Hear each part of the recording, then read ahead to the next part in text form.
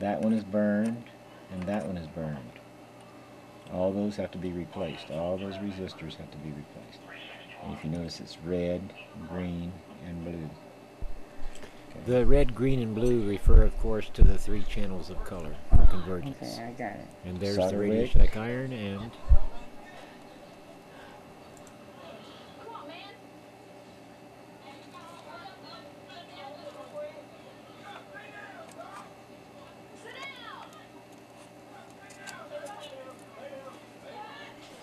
beginning to uh, desolder here. It's not working really well, uh, in my opinion. It usually works better than this, but we'll continue on, see how it goes.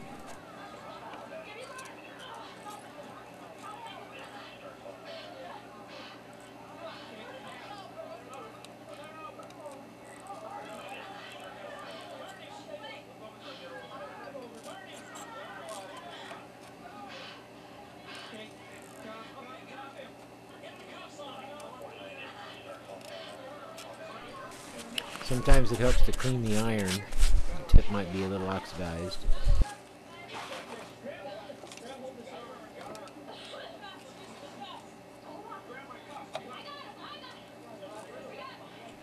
Not much help, but we'll we'll continue on with it.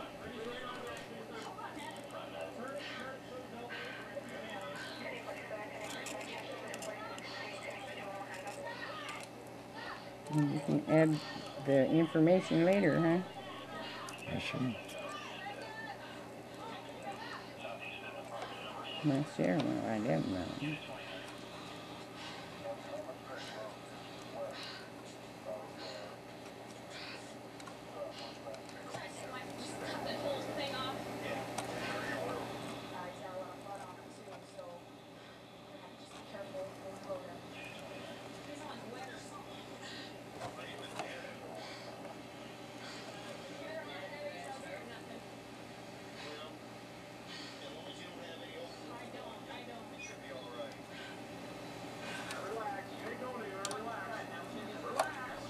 It really does usually work better than this. I'm going to have to continue to troubleshoot this as we go here.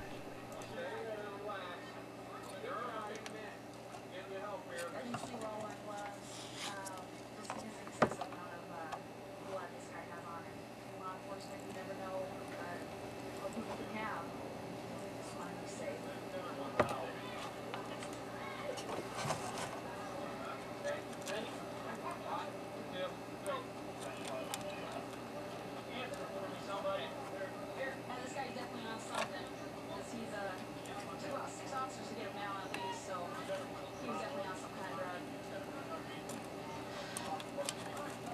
We sprayed him with mace a couple times, we got tackled before he got, uh, anybody else hurt. Snake eye, no one got hurt in this.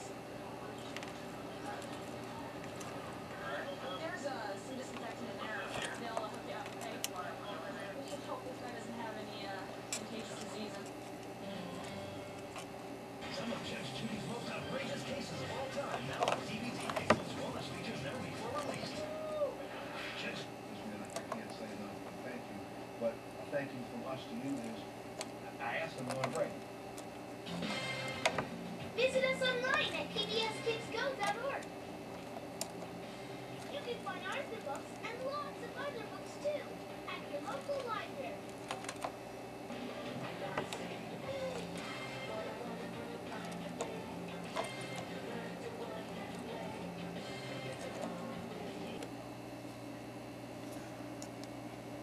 See how it's it's it's darker right there, and then I see I'm going to cut it off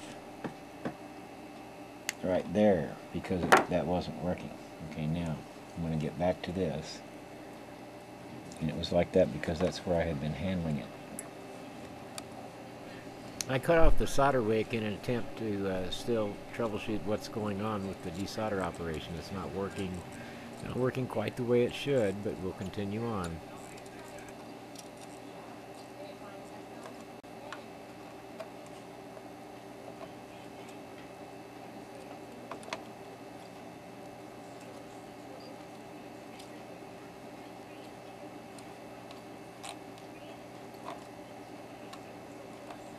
I've noticed in the past that uh, wherever I've handled the solder wick, apparently the oil from my hands contaminates the flux or somehow removes it, so it doesn't seem to work as well after that. That's that's why I cut uh, the piece off the end. It, it looked like it had been contaminated.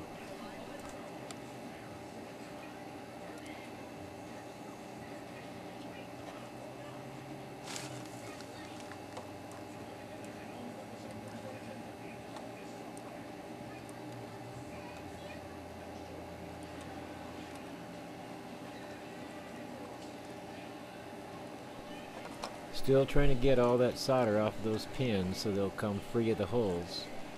Um, continue back and forth. Don't stay too long on one particular land because it'll it'll loosen it from the board and then you'll have a, a more serious repair problem.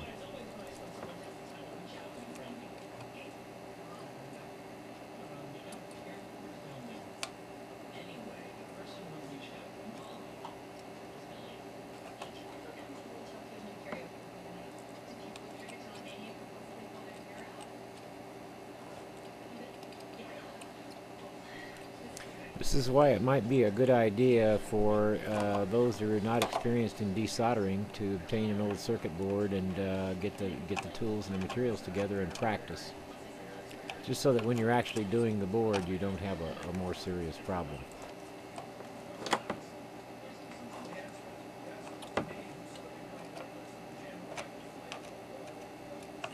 Okay. Get himself a good clean kill this morning. It seems as his patient, Miss Sampson, is in DKA and he hasn't been tracking her phosphate level, her phosphate level, her phosphate level. Doug, stop writing and go.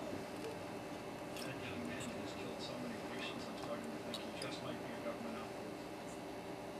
Point is, the harder you study, the longer you just might be able to hold off that first kill. And that, I guess, caution You'll notice that I uh, changed positions with the solder wick and the iron, the tip of the iron, in order to try to get more heat to the joint uh, in, in a continuing effort to troubleshoot why it's not working as smoothly as it normally does.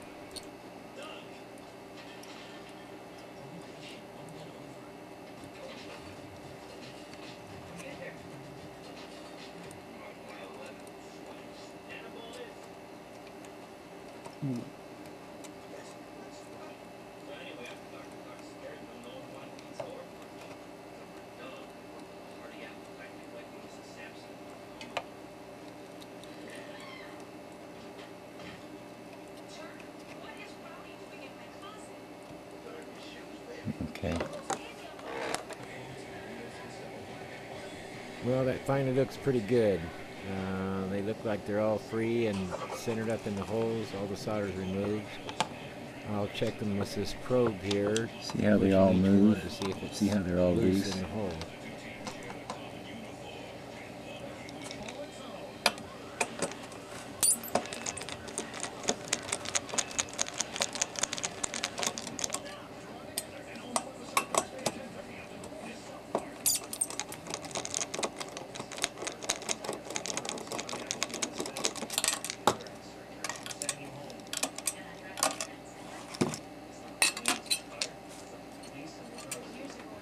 It's pretty usual to find these things stuck to the heatsink pretty tight, so I usually use a pair of dikes on the out, outside one, as pictured here. See, it came came out fairly well.